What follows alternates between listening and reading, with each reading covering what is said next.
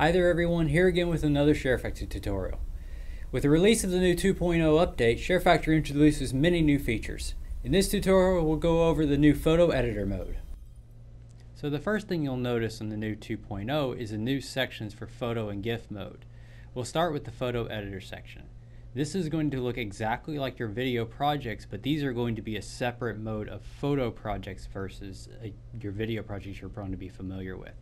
So we'll start with new project, and just like videos, you'll get the ability to select any of the themes that you've already pre-installed. Let's go with uh, Uncharted, since we have all this stuff set up. And first we'll notice that we have our two theme clips. We'll get two of our adjustable screenshots you have from your video projects from Solid Color and Gradient.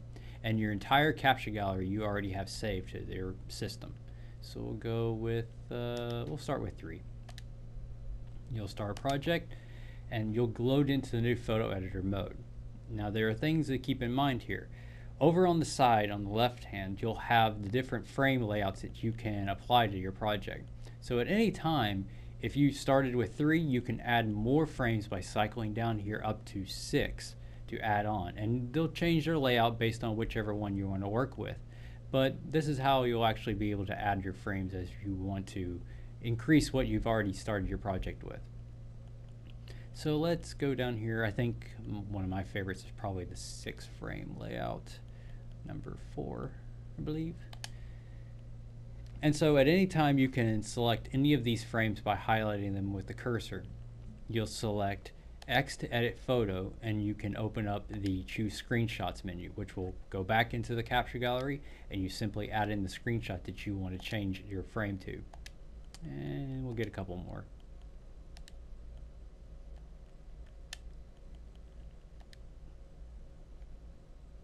So if we continue with the edit photo menu, you'll see that you also have the options for overlays, filters, vignettes, and pan and zoom.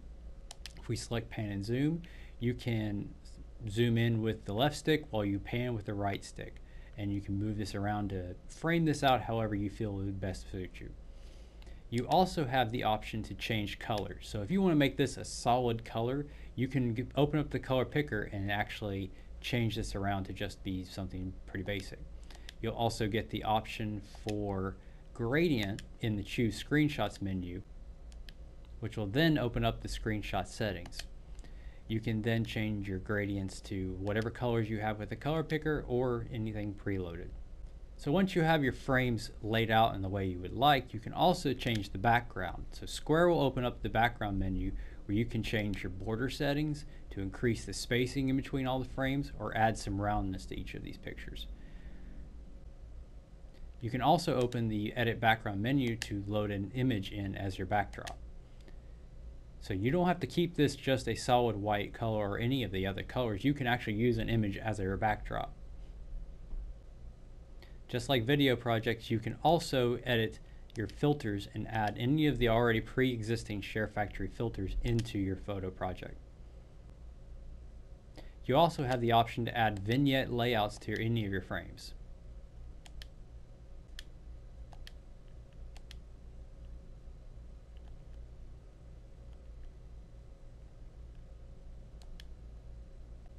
In addition to filters and vignettes, you also have the option to add overlays into your photo mode projects.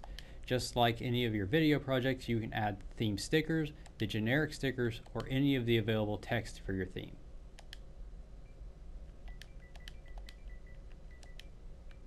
This will apply to the entire project, so this won't be locked into any specific cell in the actual photo project.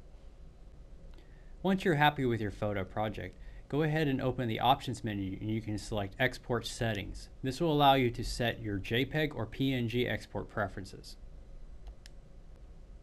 Once your photo project is complete, you can select the triangle share button to open up the export process, which will send the image to Facebook, Twitter, direct messages, or PlayStation communities.